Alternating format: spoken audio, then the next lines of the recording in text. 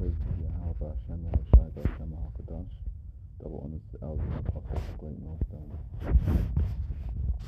Psalm 31. In thee, O Lord, I do put my trust. Let me never be ashamed. Deliver me in thy righteousness. Bow down thine ear to me. Deliver me speedily. And I, I just keep on seeing 144. I don't know whether it's just me as you know that I'm just looking for it or whatever. But I keep on seeing one for four everywhere. I don't know what. I understand there's 144 uh, members of the elect, but I keep on seeing it everywhere. Been seeing it for the last couple of weeks now.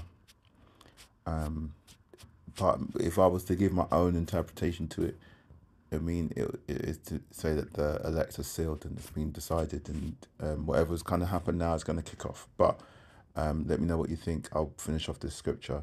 Bow down thine ear to me, deliver me speedily. I saw it. Um, I saw it in the what did I see? I see it on the time. I see it on the price of petrol.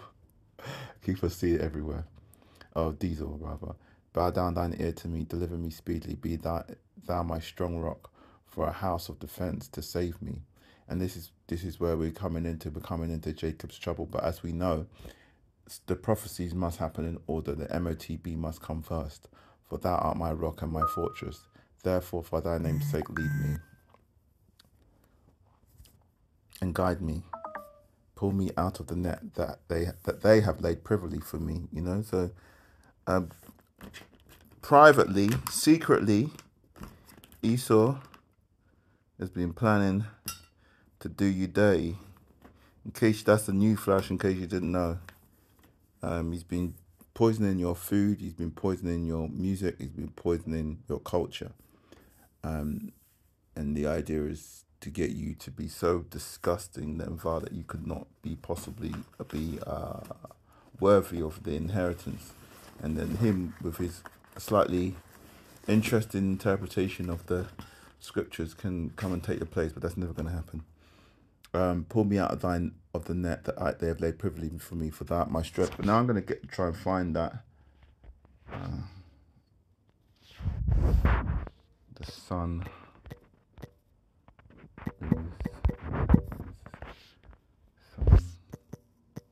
count stars. I'm trying to remember where.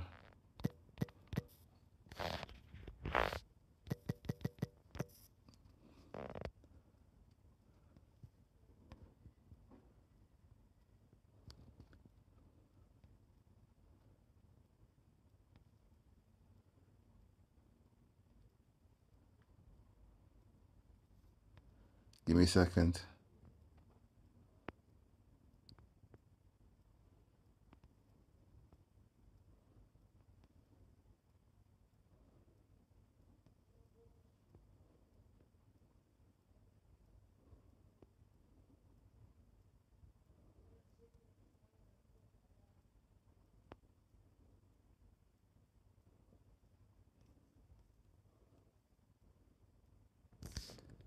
Uh, for sake. I'm not sure if I'll be able to find the scripture I'm looking for.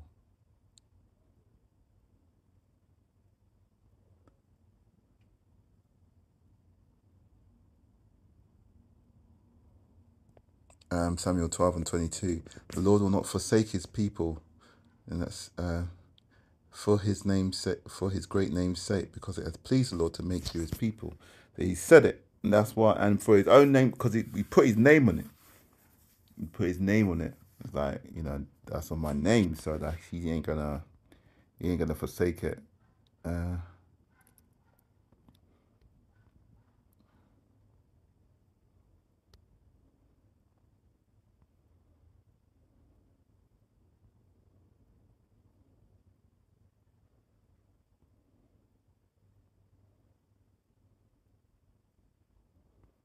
so many psalms that are saying, "Please don't forsake me," and this is what we should be praying for continually, and as we come into these times, not to be. We don't want to be that one that, um, that your house that we turn to the house shy and say, "Lord, Lord," as it says in Luke, and then he says, you know, uh, "Begone, I never knew you."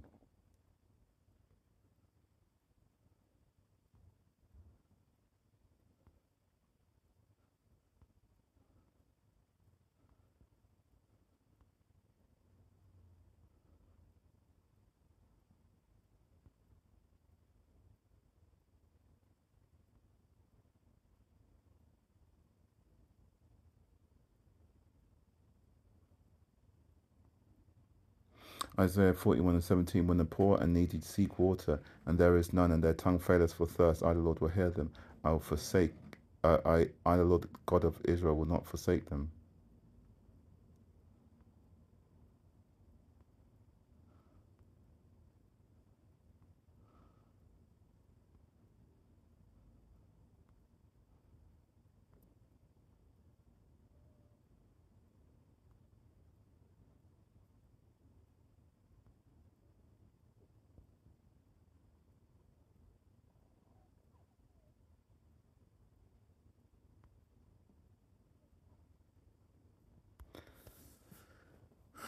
Let me find the scripture that I'm looking for.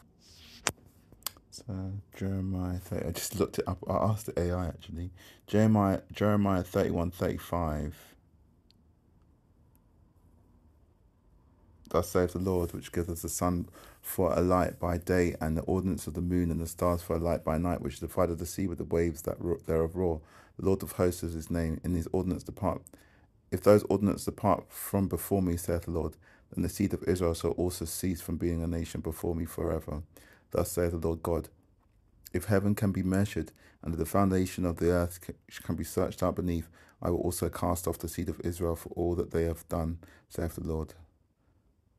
And let's carry on. Behold, the days come, saith the Lord, that the city shall be built to the Lord from the tower of Han- Hananiel unto the gate of the, of the corner.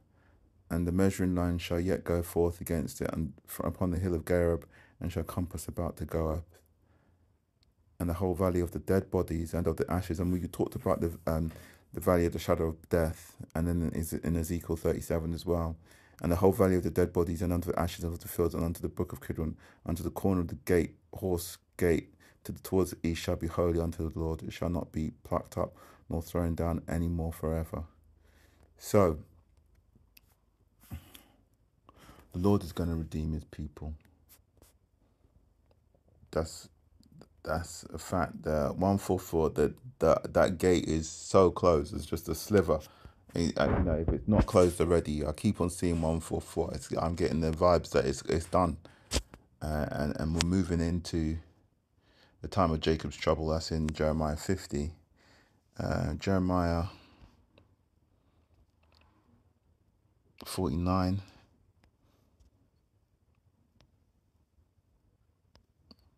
7. Concerning Edom, thus saith the Lord of hosts, Is the wisdom no more in Teman?